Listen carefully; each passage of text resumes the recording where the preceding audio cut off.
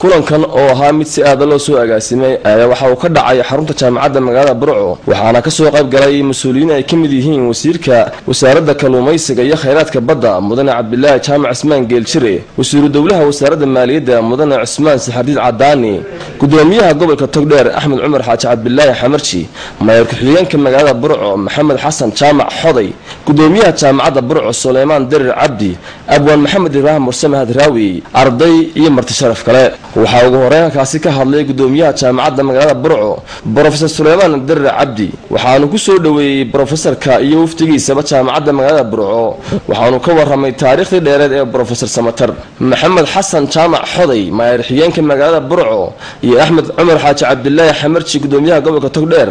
Ayaa iyaguna ku soo dhoweeyey brofesorka gobolka togdheer iyo magaalada burco abwaan maxamed ibraahim mursame hadraawi oo halkaasi ka hadlay ayaa sheegay in soo dhoweynta magaalada burca ee u samaysay brofesor axmed ismaaciil samatar ay tahay mid ka dhab ah shacab ahaan iyo mas'uuliyiintaba. Waxaa kale oo uu sheegay in shaqo badan ay sugayso brofesor axmed ismaaciil samatar oo ay ahayd buu yidhi in mar hore uu qabto.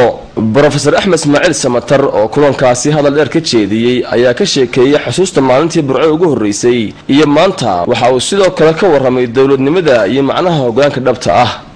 brofesor axmed ismaaciil samatar oo kulankaasi kadib dadweynihii ka soo qaybgalay xafladdu ay weydiiyeen taraafka somalilan iyo ururkiisii hil qaran waxa uu ku jawaabay. Waxaan leedahay arrinta aqoonsi. Doorta dadka somalilan ku nool haddii xaq jiro in la garto xaqooga iyo waxay qabsadeen aan waxaan qabaa in ay tahay waxaana dafiri karin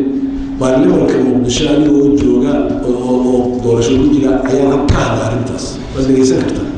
marka anigu weligeeba dee waan aqoonsanaa xaqa ay leeyihiin dadka somalilan maanta iguma horeyso waanan ka hadlay meela aan soomaaliya leedahay baan kaga hadlay halkan it's easy anoo halkan joogeynayna oo somaliland aan noolaato it's easy laakiin markaad meelo kala joogto oo somaliland aanay sidaa u joogin inaad sidaa u hadasho anu waxaan qabaa that's more challenging waana waan nidhi marka waxaan u jeeda waxa weeye waxaynu u baahan nahay unitiga somaliland meel bay soo gaadhay wanaagsan laakiin waxaa loo baahan yahay in la dhammeeyo ayaan anigu qaba xisbiga hiil qaran dadkii dhisa way jiraan xisbigaasi wuu nool yahay meelo badan buu ka furan yahay anigase waxayla noqotay as an individual axmase waxayla noqotay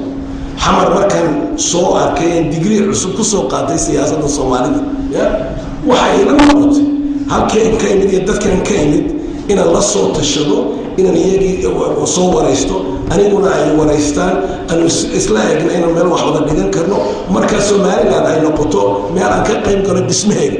hilaaceenuna soomaalida kale wuu gaadhiyo wuxuu noqon doonaa masal lagu daydo ayuu noqon karaa marka inaan taa soo ogaado dadkii aan la soo tashado anigii aan waramo dib wax la ii soo baro anna aan isku dayo inaan wax idin baro markaa gabagabadii munaasabadaasi ayaa waxaa hadal kooban ka jeediyey wasiirka wasaaradda kalluumaysiga iyo khayraadka badda cabdulaahi jaamac cismaan geeljire